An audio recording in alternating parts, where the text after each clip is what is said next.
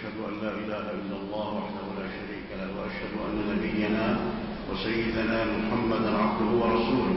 أما بعد أيها المسلمون أهنئكم وأهنئ نفسي بدخول العشر الأواخر من رمضان المباركة التي يصب الله فيها الخير صبا على المسلمين ويصرف الله من الشرور والآفات عنهم.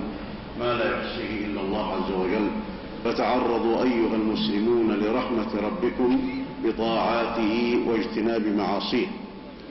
وإن القيام سيبدأ في هذه الليلة إن شاء الله تعالى وسيتوقف الوتر مع التراويح في هذه الليلة.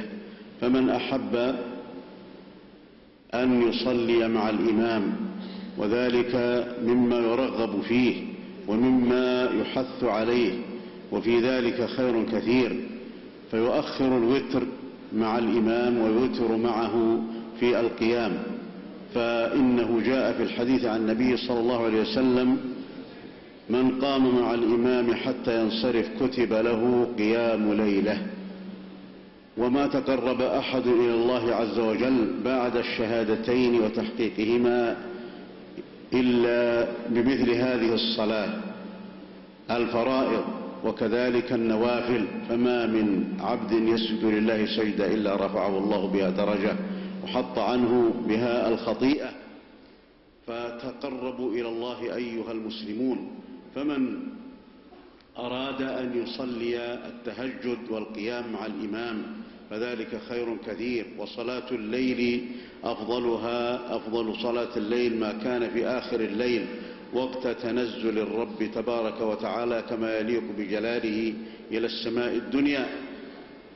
ومن لا يستطيع أن يصلي الوتر مع الإمام فله الخيار أن يصلي بعد التراويح في المسجد أن يصلي ركعتين ثم بعد ذلك يوتر في المسجد النبوي وإن أراد أن يوتر في بيته فإن ذلك أيضا إن ذلك أيضا من العمل المقرب وصلاة الرجل في بيته كذلك مثاب عليها ومأجور عليها ومرغب فيها.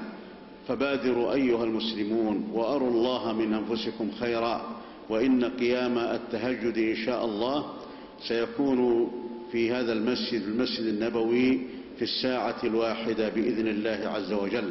أسأل الله أن يتقبل مني ومنكم وأسأل الله عز وجل أن يوفقنا والمسلمين لقيام ليلة القدر فإنها ليلة عظيمة. من حرمها فقد حرم خيرا كثيرا.